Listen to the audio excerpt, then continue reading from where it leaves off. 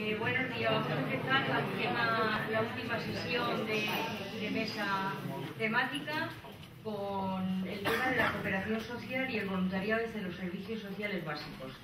Eh, yo creo que en este tema necesitamos clarificación, definición y ordenación. Yo, mm, hablando de la solidaridad espontánea, os recomendaría dos iniciativas culturales que a mí me han causado impacto en este tema. Uno es el libro de Doris Lessing, El diario de la buena vecina, que habla de las relaciones de buena vecindad de una persona mayor con una alta ejecutiva. Y lo dejo ahí porque me parece muy interesante leerlo. Y también una película que actualmente está en la cartelera, una película de Ken Loas, que se titula I, Daniel Blake, que es muy impactante. Es un parado que por un problema de enfermedad, a los 60 años, es carpintero, se queda sin trabajo, vive en Newcastle, cerca de Londres, y acude a los servicios sociales públicos eh, como persona usuaria. También lo dejo ahí porque no, no se sale de la película sin impacto. Bueno, nosotros yendo ya a la realidad nuestra, tenemos a, a las personas que nos van a explicar desde el punto de vista de su experiencia, nos van a aportar una serie de reflexiones. Eh, por una parte tenemos al equipo de servicios sociales de la comarca de Solsonés, en Lleida, que nos va a hablar desde el punto de la experiencia de una campaña de sensibilización social. Y en segundo lugar tenemos a Marta Colomer, que nos va a hablar desde la experiencia del voluntariado del Ayuntamiento de Zaragoza, que es la última actividad que ella ha desempeñado en este tema. Les dejo la, la palabra y bueno, después abriremos un turno de debate.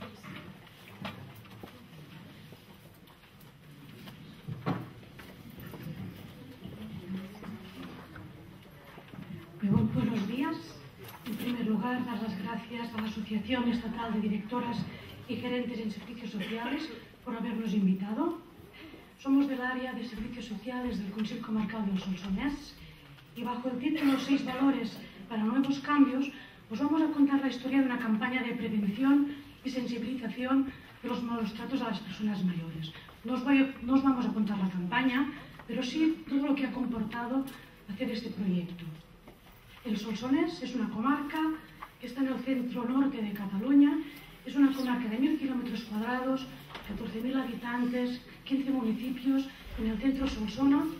Es una comarca rural, de montaña, en pleno prepirineo, y su principal característica es la dispersión de sus habitantes en pequeñas casas de campo. Y esto es un reto a la hora de, desplazar los servicios sociales. Por otro lado, el Consejo Comarcal es el responsable del área de servicios sociales, un equipo de 16 personas con servicios sociales básicos, ayuda a domicilio, atención a la mujer, infancia, etc. Es un equipo compacto, creativo, inquieto y con las ganas de hacer las cosas sencillas pero de otra manera. Es un equipo que se salta al límite de 8 a 3. Un equipo con alma y corazón, que no le da miedo los retos. Este equipo, y en este lugar rural, en el año 2012 nos planteamos la idea de hacer una campaña de sensibilización de los malos tratos a las personas mayores. ¿Y por qué? Porque a finales del, del 2011 hacemos un curso de formación, todo el equipo, y también otros profesionales de otros ámbitos, salud, eh, residencias, cuerpos de seguridad, y vemos que eso, y los profesores lo debieron hacer tan bien, tan bien, que nos quedó dentro a todos como un, una espina clavada de que teníamos que ponernos a trabajar este tema. Por tanto, el equipo a principios del 2012 empieza a pensar qué podemos hacer para sensibilizar a la población de este grave problema que es el maltrato a las personas mayores.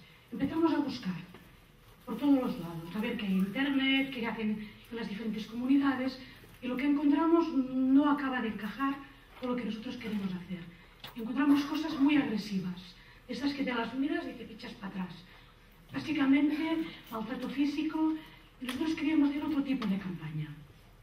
Nosotros queríamos hacer reflexionar que es un problema que tenemos aquí, delante, en nuestras narices, al lado, detrás, que ciertas actitudes y comportamientos están al límite del maltrato, que fácilmente vulneramos los derechos y protagonizamos situaciones con la excusa de que vamos estresados y que no tenemos tiempo. La casa, los niños, el trabajo y encima unos padres mayores o unos abuelos mayores que nos reclaman constantemente nuestra atención.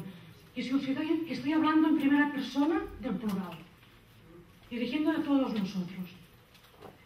Por tanto, no encontramos nada que, que se adapte a lo que nosotros queremos hacer. Nosotros queremos hacer una nueva mirada, algo más directo, más íntimo, pero a, a la vez que inquiete, que moleste un poco, pero que se vaya filtrando poco a poco en, en las personas. Con esta idea sale la campaña Trátame, que quiere decir Trátame bien.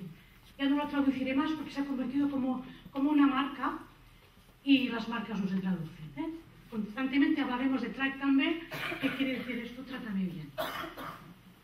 Trátame nace de las manos de este equipo, empezamos a pensar y sin darnos cuenta vamos redactando, vamos mm, elaborando ocho acciones que son como ocho proyectos independientes que se pueden hacer uno a uno sin tener que ver nada el uno con el otro, pero se pueden, con el tiempo, nosotros hemos ejecutado los ocho, hemos estado cuatro años trabajando este tema y curiosamente nos salen acciones para todas las edades. Sin darnos cuenta, acabamos de redactar y realizar una campaña de prevención primaria, pero con todos los ámbitos que esto representa. Porque el TRAC B se dirige a niños, jóvenes, adultos, sobre todo gente mayor también, y, y los profesionales, como ciudadanos que somos, de este grupo de personas. Pero sí que hay una acción dirigida a profesionales, pero mmm, en un ámbito muy amplio, con la idea de conseguir una nueva mirada, un nuevo enfoque, un espacio de reflexión de cómo estamos uh, llevando el, la atención a las personas mayores, que hace 30 años que, la, que se hizo una política y ahora estamos haciendo exactamente la misma. Por tanto, estas ocho acciones las organizamos como en, como en dos áreas de trabajo. Una es la sensibilización, dar a conocer por todos los medios qué son los malos tratos a las personas mayores, y la otra es en prevención, reducir factores de riesgo cuanto antes mejor. Empezamos la campaña hablando de maltrato a las personas mayores. A la mitad de la campaña empezamos a girar la mirada. Empezamos a hablar que TRAC también es una campaña de promoción de los buenos tratos a las personas mayores. Hablando en positivo, vemos que llegamos mucho mejor donde nosotros queremos.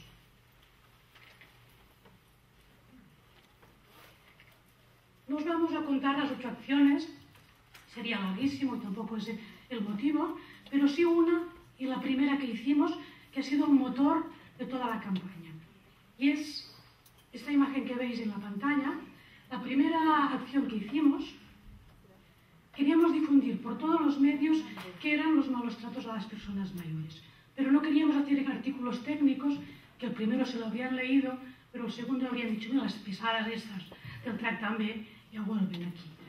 La, el equipo, eh, tenemos un equipo muy creativo, sobre todo Maribel y Mía han sido las principales autoras de este que veis allí, empezaron a escribir relatos con cada uno de los malos tratos de las personas mayores. Relatos de vida muy cotidiana, que fácilmente la gente se puede identificar en ellos por los dos lados, ¿eh? por el lado del maltratador y por el lado de la persona que lo sufre.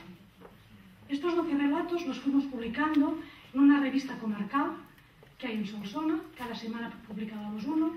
Paralelamente creamos un blog, los íbamos colgando para conseguir que la gente intercambiara con nosotras las opiniones y también el consejo de las personas mayores de los Solsones o leía por la radio.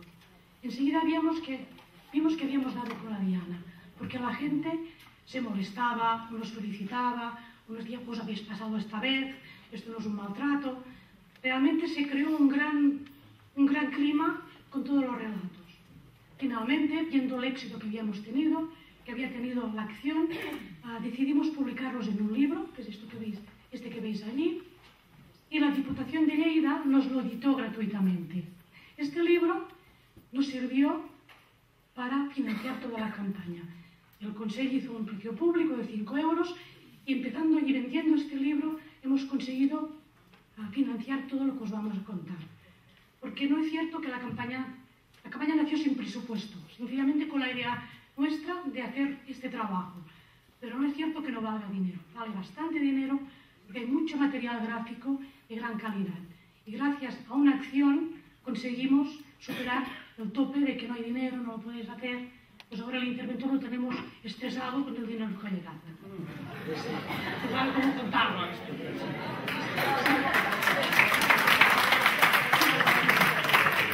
Eh, el TAC también ha sobrepasado el límite de la comarca.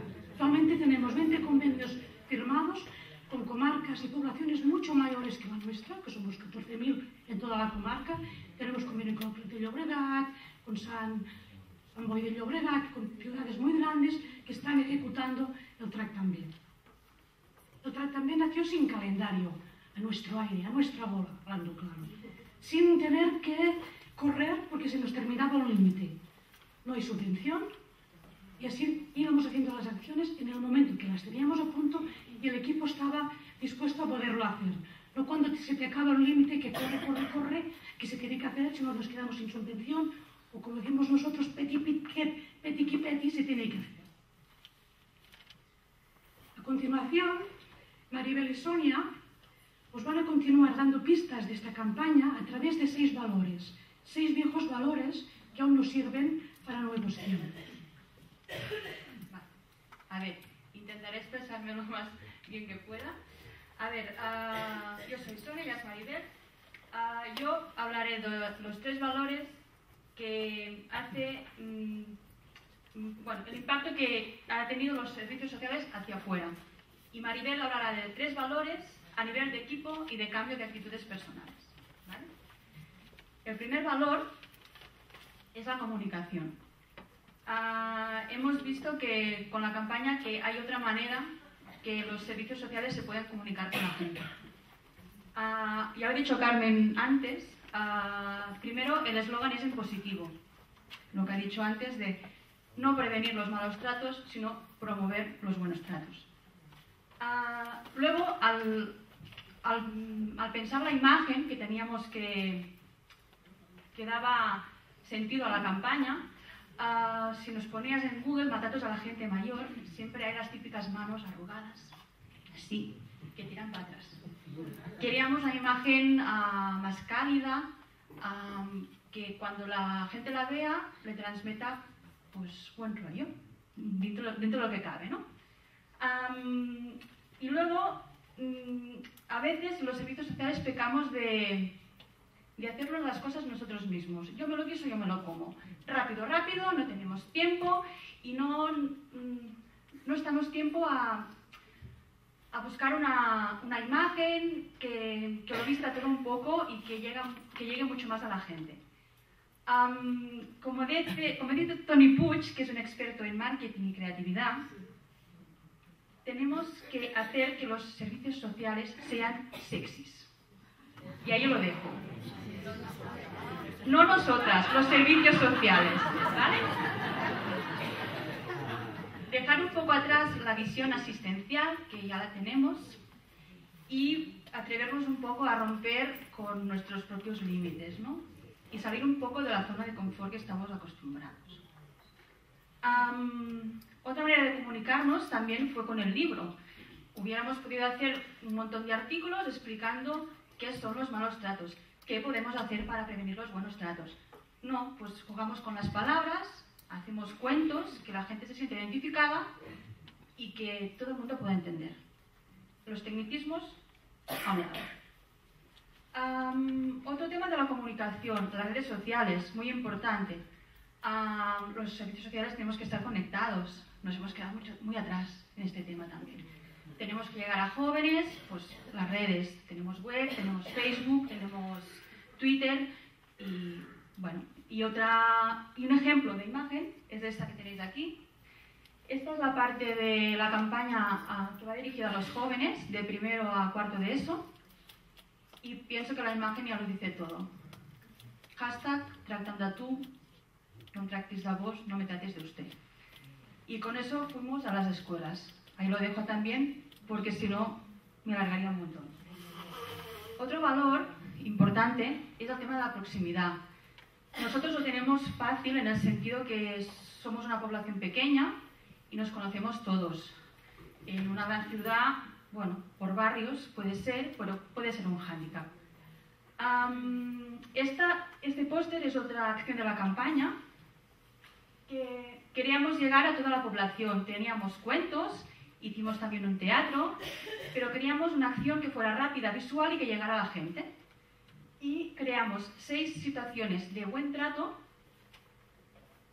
protagonizadas por gente real que todo el mundo conoce en el pueblo y que son ejemplos de buen trato. Aquí tenemos una de las, uno de los postes que hicimos que dice, a Carmen procura que su padre salga cada día de casa. Promover la autonomía de la gente mayor es un buen trato. Cualquier persona que venga algún día a Solsona, que os invito a todos, puede ver a Carmen y a su padre por la calle, siempre. Es otro tema de proximidad, hacer que la misma gente sean protagonistas de la misma campaña y que se la sientan suya. Habíamos podido coger dos personas mm, fotogénicas. guapas, ponerlas aquí, pero no hubiera tenido el mismo impacto que tuvo haciéndolo de esta manera. ¿Qué más? otra cosa, para hacer la proximidad. Ah, lo que he dicho antes del despacho, tenemos que salir del despacho. Hay otra acción que se llama esta primera Antracte, que es una acción que hemos vinculado el, el pequeño comercio como radares de posibles situaciones de riesgo. Todos los comercios que se han vinculado a la campaña tienen un adhesivo en la puerta y son establecimientos contrato. Y siempre que detectan cualquier situación de riesgo, se ponen en contacto con los servicios sociales y anónimamente nos dicen la problemática que sufre alguno de sus clientes. Actualmente, digo lo de salir a la calle, tenemos 200 establecimientos adheridos y hemos pasado por todos, nosotras tres, hablar con ellos, 200. Peluquerías, bares, restaurantes, uh, etcétera, etcétera, etcétera. Peluquerías. Salir del despacho y pisar la calle es la única manera de llegar a la gente, no hay más. Mm, otro valor, perseverancia. Las campañas de sensibilización son campañas que dan sus frutos muy a la larga. Es un trabajo de hormiguitas, pequeño, tiempo, tiempo, tiempo, tiempo. A veces se hacen, se hacen acciones pequeñas para sensibilizar, pero que se hacen y se olvidan. No hay más, no queda nada. Y nosotros no queríamos esto. Queríamos que la gente se acordara, que calara y que pensaran en todo lo que estamos diciendo. hay un partido político en Cataluña que tiene un eslogan que pensamos que define muy bien el tema de la perseverancia. Iban, iban lentos porque iban lejos. Esta es mi parte. Y ahora voy a los otros tres. Sí, lo de iban lentos porque iban lejos es porque, lo, bueno, lo, ha comentado Carmen, la campaña ha durado cuatro años. Hay ocho acciones, pero son cuatro a lo largo de cuatro años, es mucho tiempo. Normalmente siempre planificamos a un año vista y subestima y, pensamos que vamos a llegar muy lejos, pero y subestimamos lo que podemos llegar a hacer pues en periodos de tiempo mucho más largos como cuatro años, ¿no?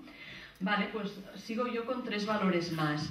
Sonia os ha hablado de valores que tienen que ver con el impacto de la campaña hacia afuera. Yo os voy a hablar de valores que tienen en, en cuenta el impacto hacia adentro.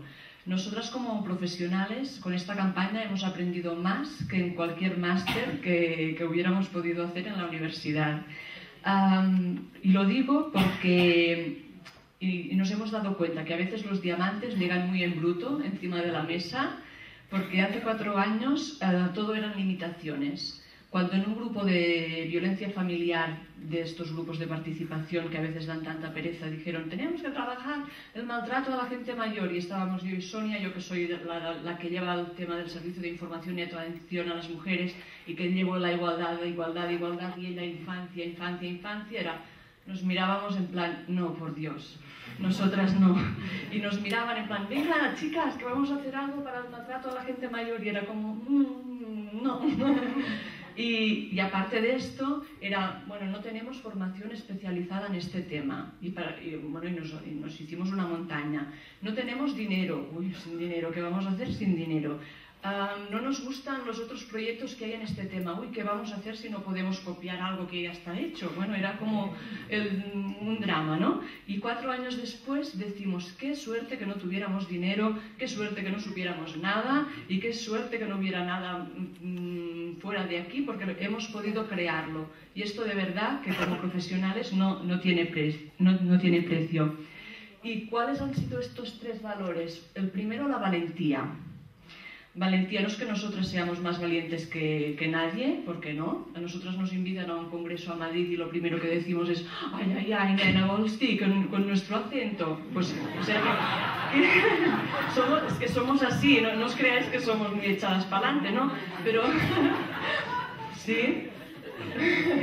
Es, es, realidad pura, somos así. No, no, no, no. Uy, que en castellano, y vais a hablar en castellano. Pues sí, lo vamos a hacer. Bueno, pues Ah, la creatividad implica pensar en grande. Cuando, tenemos un reto delante ah, y, y, no hay nada y tenemos que empezar de cero, hay que ponerle valentía.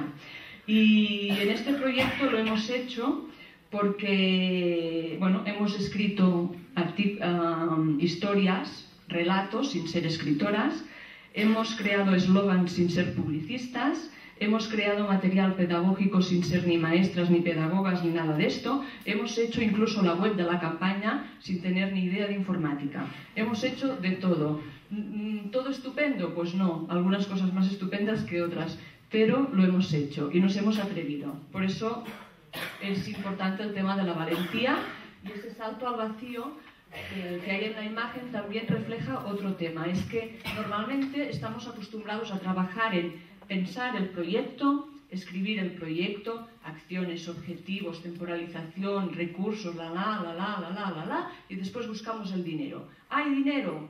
Empezamos. ¿No hay dinero? Se queda en el cajón.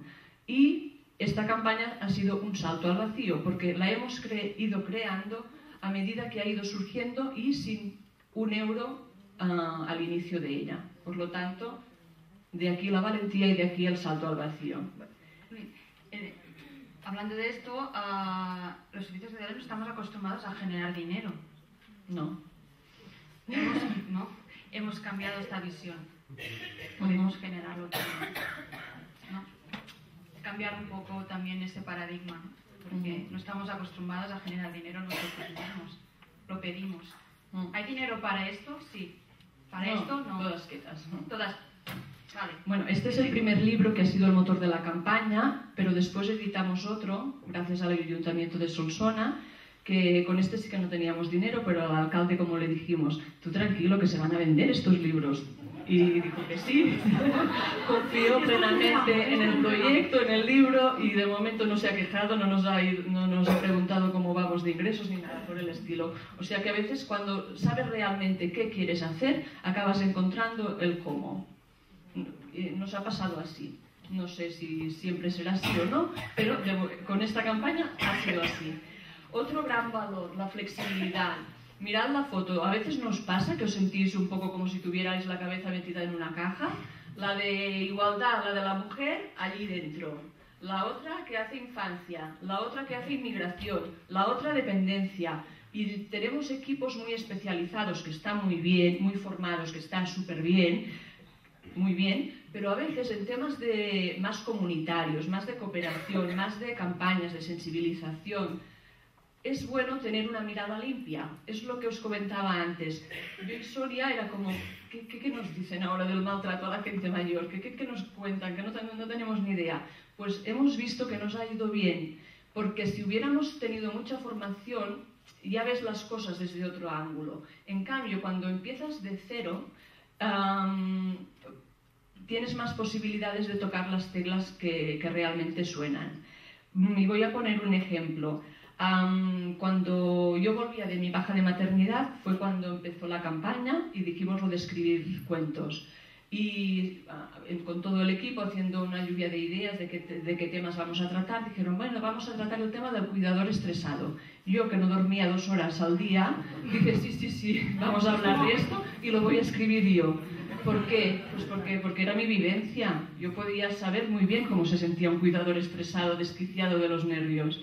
Y esto hizo que nos acercáramos a este tema de una manera más vivencial y que conectáramos con la gente a quien queríamos llegar, ¿vale? Porque normalmente es, vale, vamos a hablar de esto, venga, me voy a leer este libro, me voy a, leer el artículo, que sigo diciendo está muy bien, ¿eh? Pero a veces cuando tenemos que trabajar y llegar a la gente de la calle, es bueno tener una, mirada más limpia. Flexibilidad, no, sigo con la flexibilidad. también hay que, en los equipos, no, nos ha ido bien el tema de que uh, personas que normalmente no trabajan juntas, ya sea porque una lleva mujer, la otra inmigración, la otra no sé qué, pues de repente se junten en un proyecto nuevo. Uno más uno siempre son más que dos. Y a veces hay combinaciones dentro de los, de los equipos que no hemos probado y que pueden, y que pueden marcar resultados muy, muy, muy buenos. Más flexibilidad. Hemos incorporado la flexibilidad porque hemos tenido que adaptarnos al mundo de allí fuera con la campaña y no al revés. Esto implica trabajar sin horarios, lapidar la conciliación. Las que pagamos canguro, lapidar también nuestra economía. Y el precio del proyecto ha sido, a este nivel ha sido muy alto. ¿vale? No, nos vamos a engañar, esto no se lo ha dicho antes Carmen, esto no se hace de 8 a 3, porque las acciones que hemos hecho con colegios, hemos ido cada día por la tarde de 3 a 5 en las clases. La de los jóvenes hemos estado hasta la 1 de la madrugada grabando spots por estos mundos de Dios con niños de 13 y 14 años. Los establecimientos, bares, restaurantes, peluquerías. Bueno, esto de 8 a 3 a veces no cabe. ¿Y por qué lo diráis, estáis locas? ¿Por qué lo hacéis? Porque con nuestro sueldo mileurista podríamos decir, yo, yo esto no lo hago, ¿no? Yo creo que hubo un clic que fue muy al principio de la campaña en que nos dimos cuenta, con, sobre todo con el tema de los, de los cuentos y de los relatos nos dimos cuenta que éramos capaces de emocionarnos con el trabajo que hacíamos y que nos em, emocionábamos a los demás. Y aquí esto dejó de, de ser un trabajo. Si no, no hubiéramos hecho lo que hicimos. Porque, no, lo siento, pero no. Más cosas. Otro, otro valor que creo que es importante, el de la generosidad o la cooperación, como queráis decirlo. Ah, en dos sentidos. Uno, hacia adentro, hacia adentro de los equipos, porque una campaña de estas características se tiene que hacer en equipo. Nosotros nosotras decimos que somos de la tribu de servicios sociales y es verdad, somos como una tribu y, y este tipo de acciones se tienen que hacer en voz alta y con la colaboración y la cooperación de todo un equipo. ¿Qué pasa? Que a veces nos encontramos a equipos que vienen a vernos y está muy bien y, quieren hacer algo similar, pero en el equipo la gente no se habla o se llevan a matar. Pues como que no. Yo de verdad, si no hay una buena salud laboral en nuestros equipos, difícilmente podemos llegar después muy lejos. ¿no? Hay que cuidar la salud del equipo en un entorno de trabajo tóxico difícilmente llegaremos a innovar y a crear. Ir haciendo sí, sí que se puede hacer. Otro, otro concepto de, generosidad y cooperación con, entre distintos equipos de servicios sociales. Nosotras éramos de las típicas que cuando queríamos empezar algo siempre mirábamos qué, hacían los otros. Y esta vez ha sido diferente somos de una comarca muy pequeña, una campaña sin muchas pretensiones ni nada por el estilo y son muchos los equipos de trabajo y de servicios sociales de Cataluña que se han interesado en la campaña. Y poco a poco, a lo largo de estos cuatro años, firmando convenios, participando en jornadas, hemos ido creando como una tribu mucho más grande. Y nos gusta decir que hay una tribu de la campaña Tractan B y lo que nos une a esta, a esta tribu es el deseo y la certeza de que las cosas se pueden hacer de otra manera, de que a pesar de todo hay un espacio para soñar y para pensar en grande. Y este es el regalo de una campaña como esta. Ya está.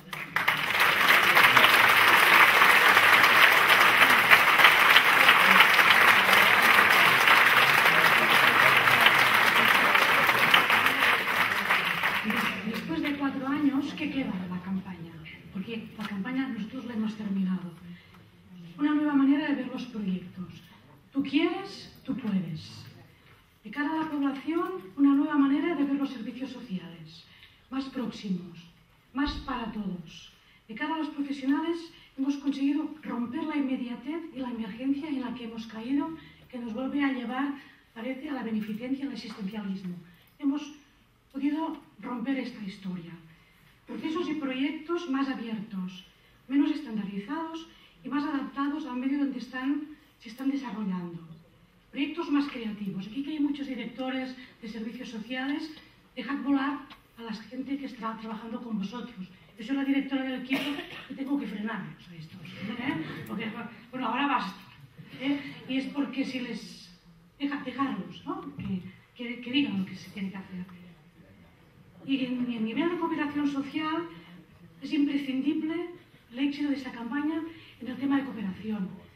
Primero con la red habitual, salud, servicios sociales, educación, cuerpos de seguridad, consejo de personas mayores, pero luego con una nueva red, más cotidiana, más terrenal, el pequeño comercio, tiendas, panaderías, peluquerías, bares, restaurantes, toda esta gente está a una hora colaborando con la campaña Track también. Porque Track también ha terminado las ocho acciones, pero hay algunas que ya quedan permanentemente incorporadas dentro de servicios sociales. Y la de los, de los establecimientos ya ha quedado incorporada como un punto de detección de riesgo. También con los medios de comunicación, grandes aliados en campañas de prevención y sensibilización. Sin ellos no habríamos llegado donde hemos llegado. Y también con asociaciones de todo tipo, fotógrafos, artistas, gente del deporte, todos han colaborado en las ocho acciones que hemos hecho. Pero de todas maneras, ¿cómo valoras una campaña de sensibilización y prevención? ¿Qué, qué hemos conseguido? Sabemos la gente que ha participado, los establecimientos que tenemos adquiridos, la gente que ha, que ha habido en cada, en cada actividad. Pero cuántas actitudes hemos cambiado esto no lo sabemos. No sabemos cómo cuantificarlo. Pero sí que intuimos un poco que las personas han ido cambiando. Los servicios de nuestra comarca, las personas mayores, han ido cambiando el chip y también sus profesionales. Nosotros, a la hora de valorar la campaña TRAC, también nos viene a la cabeza esta imagen que tenéis allí, que es una flor de diente de león. La diente de león es una planta medicinal y comestible, pero a la vez es una planta muy vulgar. Es esto que está en todos los sitios, en los parterres, entre grietas del asfalto, en cualquier sitio. Nuestra campaña es un poco esto, un montón de actividades muy sencillas, muy sencillas, que se pueden adaptar en cualquier sitio. Y esta flor, ahora con el viento se van las semillas y se y nacen en cualquier, en cualquier lugar. Nuestra campaña nos parece que es lo mismo. Puede crecer, desarrollarse y volverse a, madurar y seguir continuando y cambiando un poco todas esas, estas actitudes. Ya para, ya para acabar, deciros que podéis seguir la campaña, tenemos una web, la campaña Track también, tenemos el Facebook, tenemos el Twitter, y antes de despedirnos, si tenemos tiempo, os queríamos hacer un pequeño relato para que veáis qué, qué pretendíamos con la campaña. Digo lo del sonido. Sí, no. El tema del sonido, no sé dónde está el chico del sonido. Sí, Eh, No, www.campaña con NY track, claro, es que No track pensar- Bay. Al principio de todo, no he pensado deciros que nuestra comarca seguro que la habéis visto mil veces por la tele, porque muchos spots publicitarios de coches están grabados ahí. Y por eso había una foto al principio de todo. Sí. Y esto, cuando veáis esto, esto es el Solsonés. Como, como no hay nadie, tendréis ganas de venir. coches a todo gas. Ferrari, Peugeot, todos los. Bueno, es muy bonito. Ah, sonido, sí. Sí. Llego.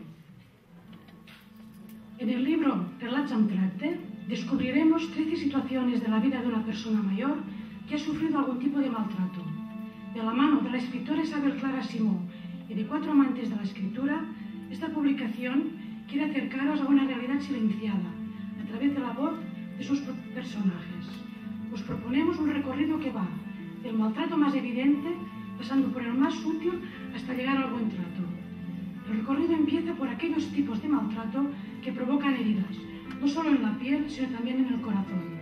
Y sobre todo si quien los provoca es alguien cercano, cuando el trato se convierte en maltrato, cuando el cuidado y el abuso se dan de la mano. No te preocupes que ya soy aquí. Empieza a chillar. No, no, no me toquéis, no me hagáis daño, fuera de aquí. Mamá, soy yo, tranquila, que solo te quiero lavar. Dejadme en paz, sacadme de aquí de una vez. No para de levantarse del taburete. La agarro fuerte de los brazos y la obligo a sentarse. La cojo con tanta fuerza que le hago daño. La miro con rabia y odio y le grito, ¿quieres estarte quieta de una vez? Mi madre se queda callada y con la mirada fija en las baldosas del baño. Acabo de bañarla mientras lloro de impotencia. Creo que le he hecho daño. No quería hacérselo. No puedo más. No puedo más. No puedo. Caricias. La ayuda de Raúl empezó, pero con los días todo fue degenerándose. Me explico, parecía que todo iba bien.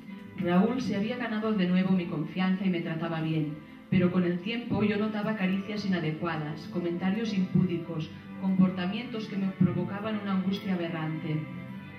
Vivimos tiempos difíciles cuando muchas familias tienen los mayores su fuente de ingresos.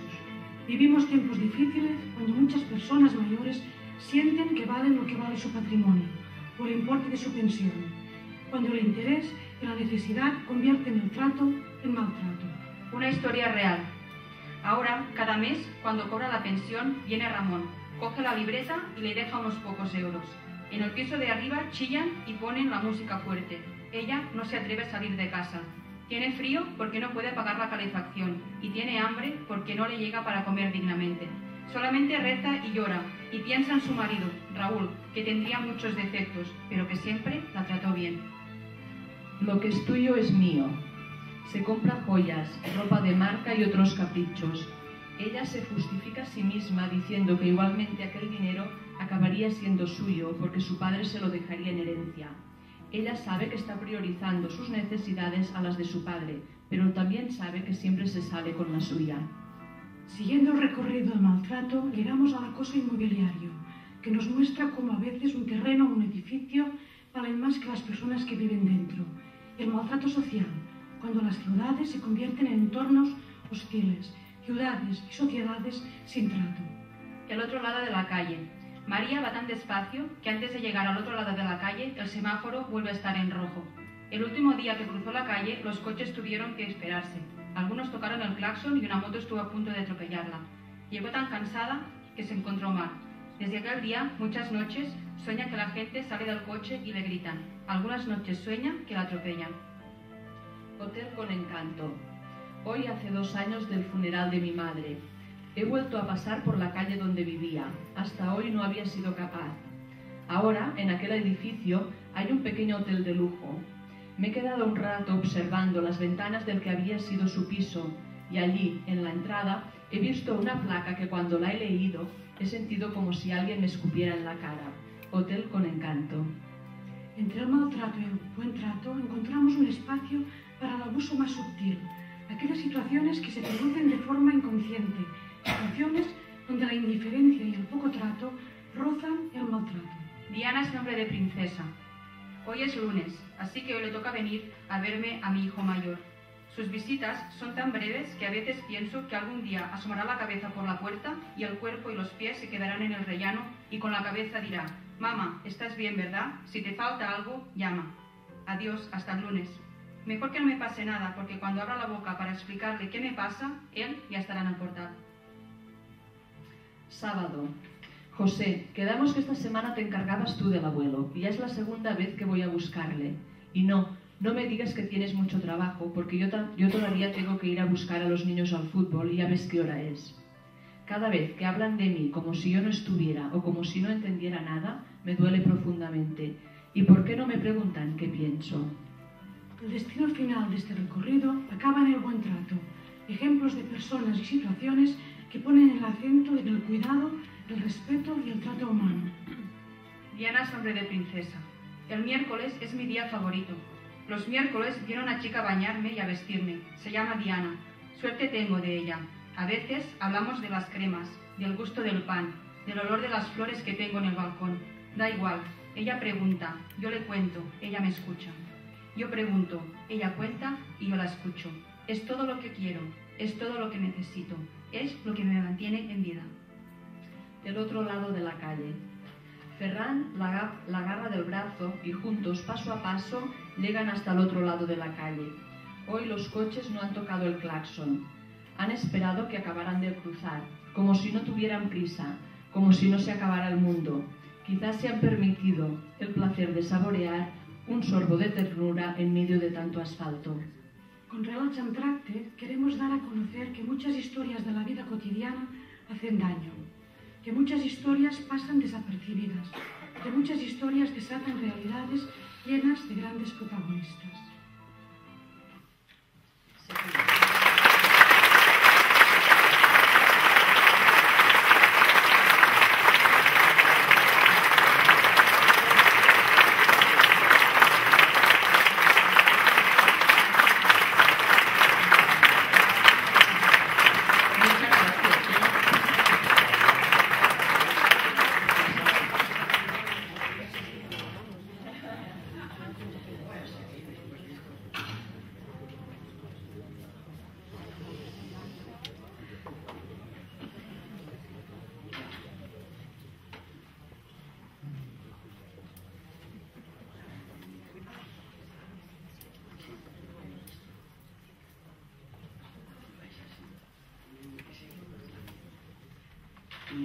días.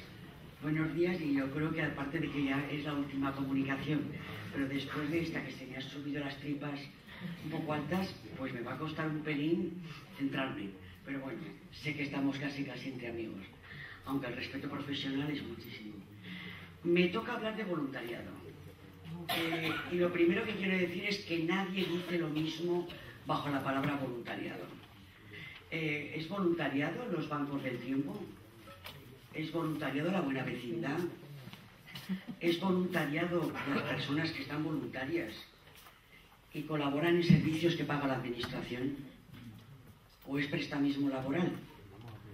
Hablamos de voluntariado cuando las personas con buena voluntad van a buscar a personas que se pierden. Es decir, se utiliza el voluntariado en términos generales, hay un inconsciente colectivo que queremos que es lo mismo, pero en la realidad la manera de gestionar y de aplicar el voluntariado no tiene nada que ver. Yo voy a intentar explicar, porque no quiero opinar este tema es un tema de voluntariado, aquí vamos a hablar de los servicios de proximidad y servicios sociales. Yo solo, ah, déjenme que haga una pincelada. Yo eh, estudié y trabajé muchísimos años en Barcelona, eh, tuve la suerte de poder eh, ver dos modelos de voluntariado uno participé en el tema de las Olimpiadas del 92, un éxito espectacular de participación, de voluntariado, la gente en la calle, una movida conocida por todos. Y el siguiente evento fue el Fórum de las Culturas, también era otro alcalde. Nos dijeron a todos los funcionarios que no teníamos que ir porque eso ya se hacía de otra manera y se hizo con convenio con entidades sociales, con la red, para que los voluntarios fueran todos a hacer aquello que se les había tenían que hacer. Unos la discapacidad, otros las puertas.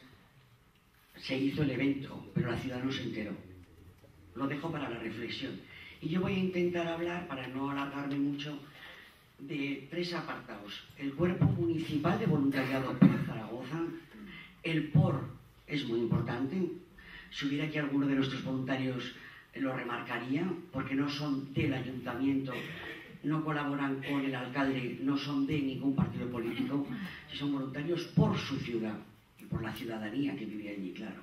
Después comentaré algunas propuestas de servicios de voluntariado municipal con los servicios sociales de proximidad, para terminar haciendo una pequeña reflexión de cómo tendríamos que conseguir coordinarnos los profesionales, al menos en un entorno municipal.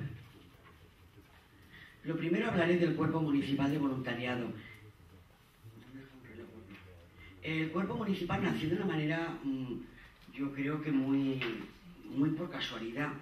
En Zaragoza montó una expo el año 2008, a mí me llamaron, yo soy de Zaragoza, vivía en Barcelona, pero mi tierra era mi tierra, y me pidieron si podía llevar en Zaragoza la gestión de la participación, el voluntariado, que más satisfacción. O sea que la ilusión con las que veo a estas profesionales, yo creo que es base para que algo arranque con la garra y la ilusión que hay que poner. Luego el tiempo puede ser más o menos, pero las tripas hay que ponerlas en el trabajo. Y eso creo que es muy gráfico lo que estoy diciendo, pero ya me entendéis la mayoría. Bueno, con esa ilusión vine yo. En la primera reunión que tuve no me conocía nadie. Este listo, uy, es que viene de Barcelona, es que viene de Barcelona. Y yo no hacía más que decir, no, pero yo, soy yo nací en el barrio del Portillo, yo soy de Zaragoza. Bueno, eh, hay tópicos eh, que, que, ayudan un poco a tener un cierto prestigio, casi un peor. La primera reunión que tuve fue con todas las organizaciones de la ciudad, expertas en el tema de voluntariado, y ya me animaron mucho porque me dijeron, mira, no te confundas, el aragonés no es solidario, aquí no tenemos costumbre de voluntariado y esto no va a salir.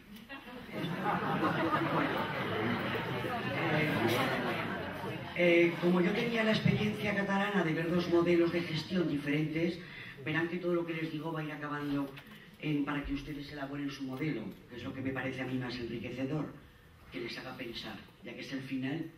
Bueno, yo tenía el modelo del fórum, las ONG sí que habían participado voluntariado, pero la ciudad, ¿qué pozo quedó de participación? No nos enteramos ninguno. Es que los funcionarios hasta no fuimos, pero aquello fue un poco una huelga encubierta ahora que hace muchos años. Las Olimpiadas ha pasado la historia. En aquella época no había ni ley de voluntariado, se inventó allí. Bueno, cuando igual llegué aquí a la Expo, yo tenía clarísimo, cuando me preguntaron, ¿qué modelo se va a aplicar? Yo dije, modelo propio, voluntariado propio de la organización. Bueno, tuvimos más de 50.000 personas que querían colaborar, 15.000 fueron voluntarios, 6.000 y pico de la ciudad, esto no se podía perder y al terminar el alcalde entonces Belloc me dijo, Marta, ¿se puede hacer algo? Y dije, uy, tanto, ¿cómo vamos a perder aquí a tantas personas? Bueno, se apuntaron dos mil y pico, en la actualidad hay más de 4.000 personas voluntarias que forman parte del cuerpo municipal de voluntariado por Zaragoza. Eh, importante, voy a marcar tres cosas solo. La gestión del voluntariado es profesional. El voluntario lo que da es su tiempo, nada más y nada menos. Y el tiempo del voluntario vale exactamente igual que el del rico, que el del pobre, del que sea. Lo único que tenemos que hacer es darles valor. Es lo único que piden. Con lo cual, en cuanto haya una contraprestación a cambio, hablaremos de otra cosa, pero no de voluntariado. El voluntariado que por su voluntariado recibe un crédito para no hacer una asignatura, o cambia un bote de mermelada que se decía esta mañana por no sé qué, es buena vecindad, es otra cosa. Pero el voluntario tiene que ser totalmente altruista. Lo hace porque quiere y porque disfruta. También lo comentaría yo en otro entorno que no es el de aquí. Gestión profesional. Segundo, en el Ayuntamiento de Zaragoza hay un único requisito. Puede ser voluntario cualquier persona que tenga más de 16 años. Y por arriba, en la Expo tuvimos a los 105 años, que hizo una labor voluntaria extraordinaria, porque se recorrió todas las radios y todas las televisiones, porque es lo que le gustaba a él. Bueno, eso faltaba. El voluntario tiene que disfrutar, no tiene que sufrir. No podemos vincular voluntariado con que se van a ganar el cielo. Ese será el ideal de algún voluntario, porque el voluntariado se mueve por los ideales, pero solo lo saben ellos, no nosotros. Ahí está nuestra gracia como profesionales, averiguarlo para hacerlos, para que disfruten y hacerlos, motivarlos para que continúen. Muchas organizaciones es que no son conscientes, es que no se comprometen, es que se van. No, es que no están motivados, es que lo que hacen no les gusta, es que están impuestos. Bueno, nosotros, la puerta abierta, somos un servicio público, no faltaría más, es nuestra obligación. Cualquier persona puede ser voluntaria y os puedo asegurar que un número muy elevado están derivados por los servicios de psiquiatría, porque tenemos señoras mayores que el, marido las abandona, situaciones de los hijos se han ido, eh, viudas, gran crisis cuando el hombre se jubila, que la mujer les dice, no te quiero ver en casa porque me molestas. Y viene y dice, yo quiero ser voluntario, pero no se lo diga a nadie. Sobre todo que no se entere mi mujer. Es decir, que detrás de cada voluntario hay una vida muy rica. No se pueden imaginar lo que se aprende. Es el típico, es el ejemplo de la sociedad. 4.000 personas de Zaragoza, yo tengo una suerte, tengo una muestra gratis para hacer estadísticas.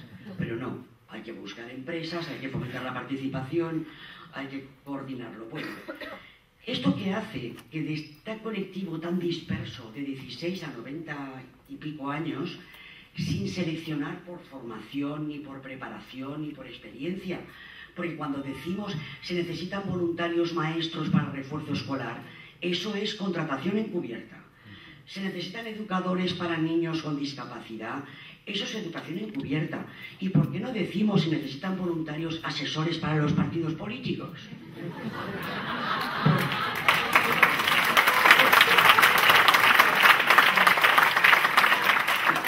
Estamos asociando el voluntariado con los necesitados.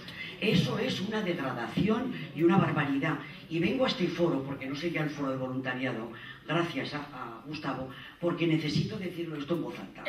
Es una vergüenza lo que está pasando en este colectivo. Bueno, nosotros cómo lo hacemos esto cuando hay tan dispersa, la gente tiene su saber, tenemos desde concejales de ayuntamientos, catedráticos, señoras de la limpieza, amas de casas, otras religiones, otras culturas. La única manera de barrar y de unificar el voluntariado es con la formación. Y la formación tiene que ser profesional, de alto nivel, adecuada a las personas, si tienen o no una discapacidad, cercana a sus barrios, con un contenido muy claro, porque eso es de lo que tiene que hablar el voluntario, no de lo que él quiere. Él va a disfrutar y tiene que saber lo que tiene que decir y lo que tiene que hacer en cada momento, no lo que le digan. Bueno, Luego, cuando pasemos a la primaria, reforzaré. Y por último, en el modelo municipal, el voluntario elige él dónde quiere participar, qué le gusta, en dónde, cuánto tiempo. No es cuestión de llegar a un sitio, ¿qué hago? ¿Y qué pasa cuando, cuando ha pasado esto? Que yo lo he vivido en la Expo. Llegaban los voluntarios y les decían con mucha tentación, mira, vete a limpiar el guardarropa que está manchado de ayer en una fiesta. ¿Qué pasa? ¿Que es el último eslabón de la clase social? ¿Esto qué es? Por eso tiene que estar profesionalizado. Los profesionales los tenemos que proteger y, decir, señores, esta persona va a hacer esto porque le gusta, porque lo ha elegido a él, porque estamos en un país democrático y porque es un voluntariado municipal, pero blindado. Me pongo muy dura porque esto me toca jugarlo con todas las áreas del ayuntamiento ahora, pero la Expo me tocó liderarlo con marketing, con protocolo, todos, que vengan los voluntarios y que hagan, no, quieto, muerto parado. Esto no va así. Yo no tengo los voluntarios en mi despacho y es como si fuera un grupo de sillas, traigo unas cuantas. Esto así. Bueno, y solo con esto veréis un poco cuál es el modelo que yo defiendo y vamos a pasar a lo que os puede interesar a vosotros, eh, sin antes marcar un, meter el dedo en el ojo. Un segundo. Fijaros que en, este, en, el voluntariado que elige él lo que quiere, en ese catálogo que es como una carta de un restaurante, es como un menú, primer plato, segundo, tercero, cuarto, cada con color. Por ejemplo, medio ambiente. ¿Le gusta a usted? Sí. ¿Qué le gusta? Pues eh, el parque, no sé qué. Eh, cultura, deportes, eventos singulares, la ciudadanía. Bueno, hemos, colaborado cementerios, urbanismo, en servicios públicos, el tranvía, el transporte adaptado, y con servicios sociales, con aquellos que gestionan, gestionaban, para mi pena, Gustavo. Con los demás no, no han visto la necesidad de que el voluntariado colabore con los servicios sociales. Quiero mucho mi ciudad, pero tengo que reconocer que lo tenía que decir. Habrá que hacer una reflexión, pero ya le pediría a Gustavo que me eche una mano. Pasemos al segundo punto.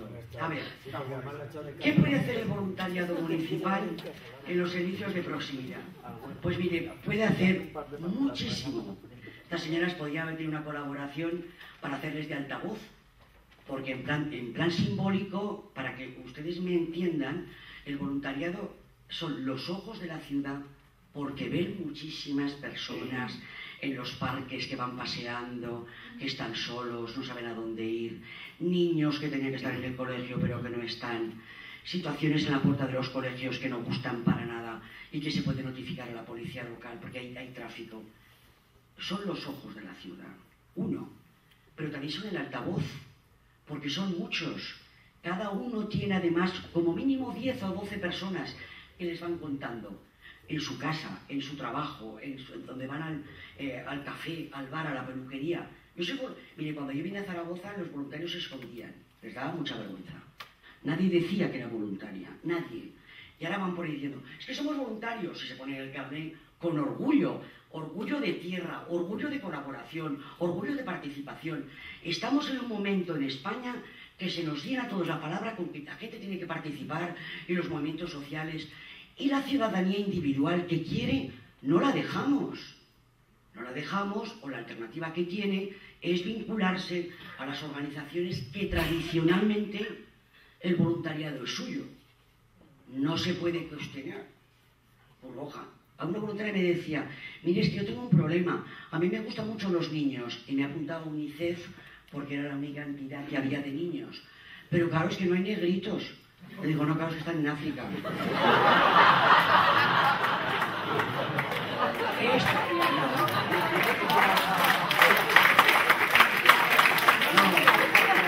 Vale, les cuento esto. Les cuento esto porque a los voluntarios no se les puede engañar. Si tienen el ideal de colaborar con la infancia, es estupendo. Pero hay que decirle, mire, aquí para colaborar con la infancia, usted lo que va a hacer es el sobrar. Y él decide si le gusta el sobrar o no. Pero no le engañes. Hay que decirle, ¿te gusta fregar? Me gusta muchísimo fregar. A fregar. ¿Te gusta esto? No me gusta. Pues otra cosa. Cuando hablamos de que, en qué puede el voluntariado colaborar con los servicios sociales, mm, ayer hablaban ustedes la mayoría de la edad. Bueno, pues tenemos todos una cierta edad, pero yo me acuerdo mucho de mis abuelos de pequeñita íbamos a los pueblos y los que venís de pueblo, os acordaréis que en los pueblos está el voluntariado normal, que no se llama voluntariado. Que le dice, oye Joaquín, espera que te doy la vuelta por el abuelo. Ya te traigo el pan que voy a buscarlo allí. El chico del colegio, mirad, que venga conmigo a casa. Eso era el voluntariado en un pueblecito pequeño, que no hay malas miradas, que la gente se conoce y que se va a colaborar, que te sale de... Pero claro, en una ciudad o en un pueblo más grande, eso hay que organizarlo, pero respetando eso. Sería el espíritu de un voluntariado cívico, el espíritu. Lo digo eso sobre todo para las trabajadoras sociales de casos individuales, que ahora voy a hablar, y para los planes comunitarios. Es precioso. Es precioso, porque el propio voluntario te enriquece, porque él es parte de eso. Él vive en ese barrio, conoce a la vecina, pero pasa mal la otra que el marido le está dando, de verdad. Nosotros nos lo han contado y hemos tenido que canalizarlo por otro lado, pero la información que tienen es imprescindible. A ver, ¿qué propondría yo? Eh, sobre todo tiene que pensar una trabajadora social de servicios de proximidad que no puede haber un voluntario si no hay un profesional. El voluntario nunca sustituye un puesto de trabajo. Por ejemplo, si en una casa la persona mayor tiene teleasistencia, ayuda domiciliaria, pin, pin, pin, pin, y además podemos sumarle algo más para la calidad de esa persona, para que la trabajadora social tenga más información, porque si tiene una trabajadora familiar un día o dos a la semana, la teleasistencia, alguna vecina que le va chivando y además un voluntario que va allí, ojo, con carnet municipal, ha pasado por la policía todos los registros, uniforme municipal, serio, y va a hacer qué? Eso es lo que tenemos que hablar los profesionales del voluntariado con los de atención primaria. ¿Qué te parece? A esta señora debería que sacarlo. Se la acompaña a la peluquería, al parque, a tomar el sol, a que haga amigos por la vecindad, luego les contaré un plan muy rápido, a estar en su casa, a leerle el periódico, a que nos critique a la vecina, a que hable mal de quien sea. Es como un familiar que te viene a ver, pero que te viene a ver con un compromiso fijo, como mínimo un día a la semana. Y cuando esta persona se pone mala, lo va a ver al hospital esto ya lo hemos hecho en la Casa Amparo, Gustavo ya lo sabe, pero el entorno es mucho más fácil porque es una residencia, ¿no? Aparte de que hay unos profesionales estupendos. Y esto hay que engancharse con la trabajadora familiar, con la asistente social, pero vincularlo mucho. Pero se me ocurren muchas más cosas. La trabajadora social tiene que saber que el voluntario no puede tomar decisiones en proceso. Para eso nos pagan los profesionales, para decidir. El voluntario no toma decisiones. Cuando va a algún sitio sabe lo que va a hacer, cómo lo va a hacer y cuánto tiempo va a estar. Y a partir de ahí, si pasa algo, tiene que llamar. No puede sufrir. Tomar decisiones es sufrir. ¿Qué hago? ¿Esto o lo otro? Decidimos los profesionales. siempre está la gracia del voluntario que le sale su chispa o su chiste o lo que le guste, pero sabe muy bien a dónde va, cómo va, quién lo acompaña, a qué hora sale. Bueno, eh, con discapacidad hemos hecho nosotros mucho, pero sobre todo con entidades que, que tienen discapacitados con esclerosis múltiple. Hay un programa de autonomía personal, pero fíjense qué bonito. Hemos acompañado a personas de esclerosis múltiple, ya saben que es una enfermedad degenerativa, poquito a poco van perdiendo la movilidad, a qué momento que les da vergüenza salir de casa. Y en Zaragoza se puso el tranvía. El tranvía tiene reservas, pero a la gente le da mucha vergüenza decir, quítese que esto es para mí. Entonces el voluntario ha jugado dos papeles. Acompañar a la persona con discapacidad, hablando con ella, porque como informado, le da valor, la gente trae los voluntarios, los voluntarios. Cuando vienen los voluntarios parece que pasa algo. Y nada, ella hablando con la señora y por favor levántese que este asiento está reservado. Cosa que la, la persona usuaria le da mucho apuro. Y en Zaragoza nadie ocupa los asientos adaptados, los ocupas, ves a alguien, te levantas. Pero yo creo, si alguien aquí de Zaragoza, que el comportamiento cívico en el tranvía, impresionante. Bueno, en infancia, les dejo un ejemplo muy cortito. Teníamos un chico pequeñito chino, Alba, que está por aquí, que es una maravilla de chica, se acordará. Pero todos los veranos, como tenía la madre muchas tiendas chinas, el crío se quedaba en casa encerrado. Y la trabajadora social nos dijo, teníamos que sacarlo porque la escuela... Bueno, montamos un dispositivo con la trabajadora social, todos los días, por la mañana y por la tarde, un voluntario en la puerta a casa. Es que es un bandolero. Señor, ¿qué perfil tiene que tener este voluntario? Bueno, pues mira, un maestro no estaría mal para que le vaya diciendo la calle porque hablaba muy mal castellano.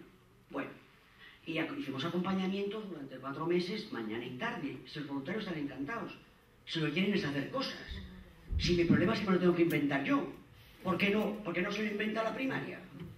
¿Por qué no nos suma? En, infancia, en infancia hemos colaborado con el caso este, por ejemplo, familias uniparentales, no se pueden imaginar lo que sufren aquellas madres que salen del trabajo media hora más tarde de lo que acaba el colegio y que el chaval se queda en la puerta.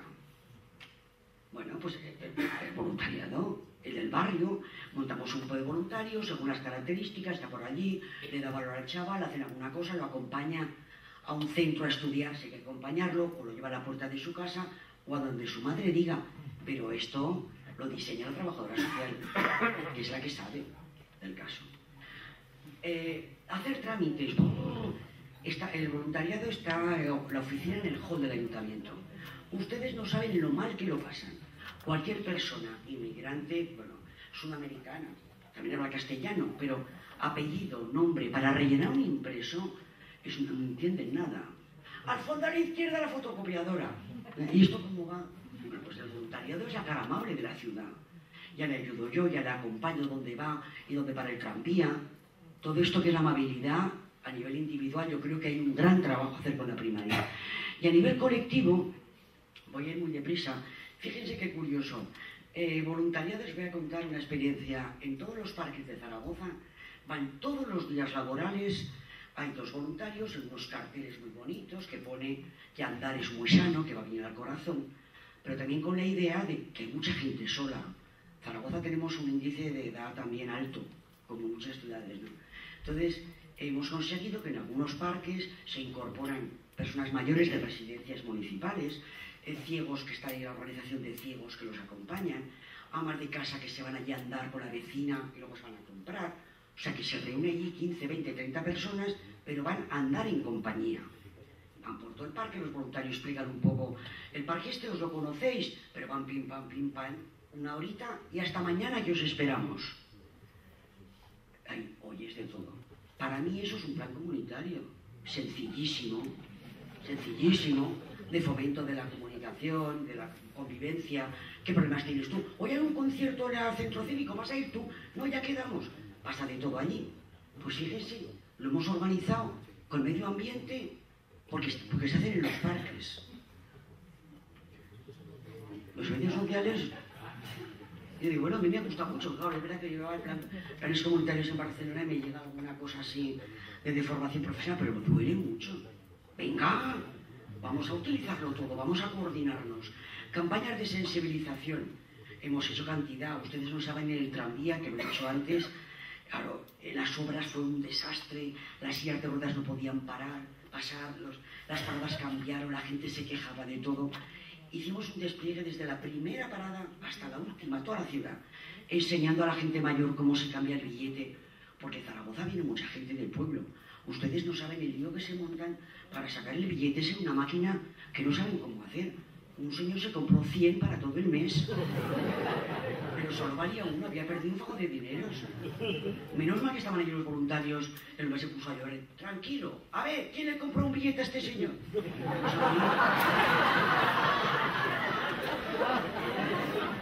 La vecindad. Pero es que la ilusión que tiene y lo útil es que se siente. Bueno, quiero seguir, quiero acabar. Voy a terminar muy deprisa, ¿eh? A ver, eh, no repito más. Por favor, por favor, allá donde vais, a vuestros ayuntamientos, soy de toda España, intentar coordinaros. La fama que tenéis desde fuera es que sois un poco cerrados.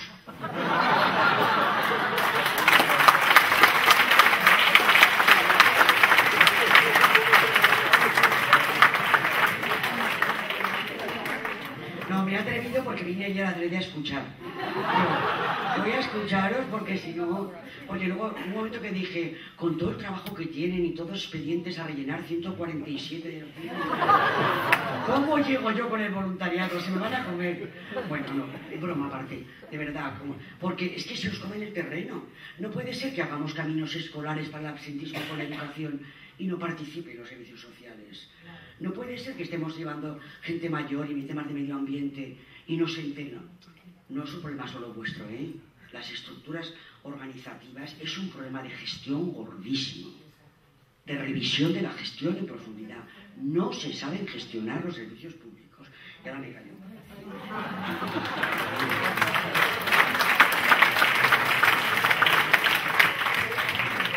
Bueno, termino en dos minutos.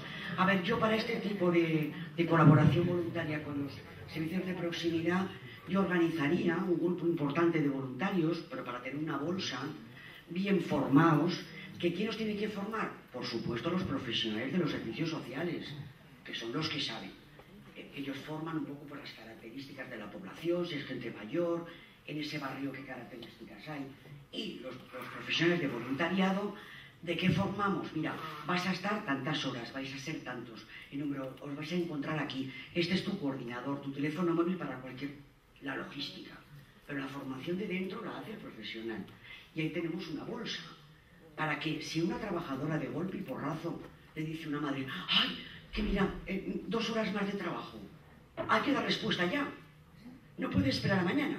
Coge el teléfono, llama voluntario, oye, un voluntario para las cuatro. Y si ya están formados, los tenemos ya por barrios, preparados para cualquier cosa, coger, llamar adelante. Que no puede es el siguiente, el siguiente, el siguiente. Pero para eso tiene que estar profesionalizada la gestión del voluntariado municipal. Y yo creo que somos de los pocos ayuntamientos de España que nos hemos atrevido. Bueno, sigo. Eh, la acabo de decir, profesionalizada. Antes de hacer nada, desde voluntariado tiene que haber una concreta planificación. Esto es vital. La planificación tiene que estar concreta, pensada, escrita, analizada y compartida con la profesional de los servicios que va a recibir el voluntariado. ¿Estáis de acuerdo? ¿Lo veis bien? ¿Cambiamos esta función? No. Antes de que vayan a calle, porque ya he dicho, el voluntario no puede tocar nada, no puede decidir nada, porque si no se convierte en profesional. Ese límite hay que cuidarlo. Además lo pasa mal, ¿eh? Lo pasa, lo pasa fatal. Bueno, y además, una cosa importante, no podemos quedarnos todos en el mundo de las ideas, que todos tenemos muy buenas ideas, pero cuando las tienes que transmitir a otro, que además no es un cargo jerárquico, si yo le mando un profesional, a un voluntario, lo pierdo. ¿Por qué me va a hacer caso a mí? No lo puedo mandar. Bueno, tengo que ganar. Le tengo que decir, mira, vas a hacer esto. ¿Cómo lo ves? Estupendo. Tiene que estar escrito, no solo por ideas. Porque el voluntario no está para hacer lo que haga falta, que es muy típico. Oye, mira, venías a hacer esto, pero ¿por qué no me fregan los cubiertos? Tiene que estar protegido. Tiene que saber que no. Bueno, eh, es necesario e importantísimo que la dirección del Centro de Servicios Sociales y todos los trabajadores de, estén de acuerdo en que van a colaborar voluntarios. Ya termino ya. Porque si no están de acuerdo, aparecen las críticas, aparecen los errores y esto va fatal. Y por último, que es la única, no os puedo engañar, la incorporación de voluntariado en el primer momento hay que trabajar. Supone un tiempo de encaje, de hablar los profesionales de aquí, de allá, como lo veis, pero os puedo garantizar que la experiencia merece la pena, porque los usuarios que atendéis os lo van a decir y vuestro saber profesional también se va a multiplicar. Muchas gracias y hasta la próxima.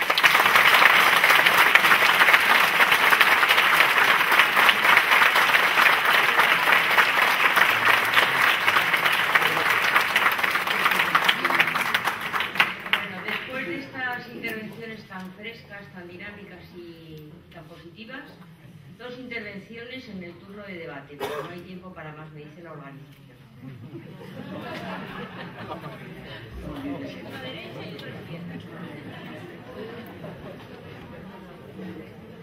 Lo hemos hecho también y tan claro que me he ¿Se han quedado? Sí. Una pregunta de un minuto. ¿eh? Yo, yo. Yo os voy a agradecer porque de verdad yo me he emocionado, se me han saltado las lágrimas y me ha interesado todo el Congreso, pero esto es lo que de verdad da frescura y ya que no preguntaba a nadie más ni intervenía y yo soy una habladora nata, pues chapó, chapó a las dos partes, gánenme la vida que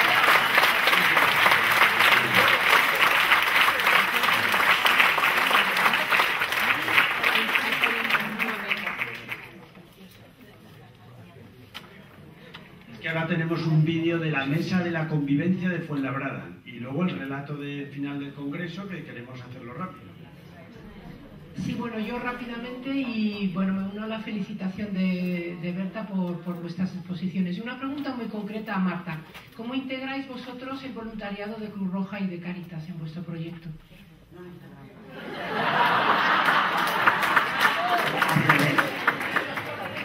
No, no, a ver, a ver, a ver. No, a ver. Eh, nuestro voluntariado son personas individuales de la ciudad que vienen al ayuntamiento a hacerse voluntarias. Si además quieren ser voluntarios de donde sea, lo que quieran. Nosotros tenemos un modelo municipal, vale. ¿Qué relación tenemos con estas entidades?